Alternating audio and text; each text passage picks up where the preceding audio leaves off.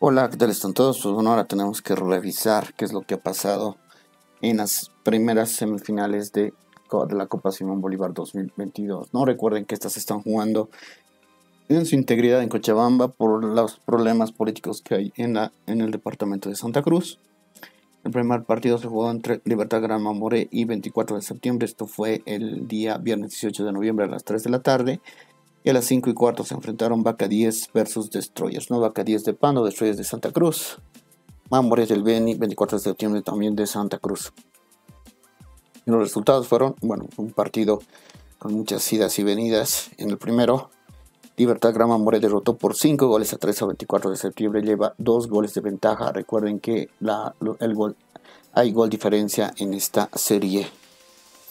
Y en el otro partido, Vaca 10 derrotó por 2 goles a 0 a Destroyers. Es decir, tanto el equipo veniano como el equipo pandino han ganado sus partidos de ida con 2 goles de diferencia ambos. Así es que todo se define el día de mañana, lunes 21 de noviembre a las 6 de la tarde tenemos el Destroyers versus Vaca 10.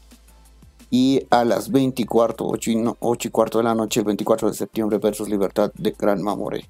Los ganadores de estos dos partidos el, van a jugar la final.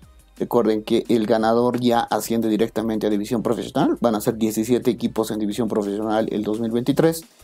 Y el perdedor se va a enfrentar a Universitario de Sucre en el partido del ascenso-descenso indirecto. Pues bueno, así está la situación. Vamos a ver qué pasa el día de mañana lunes, ¿no?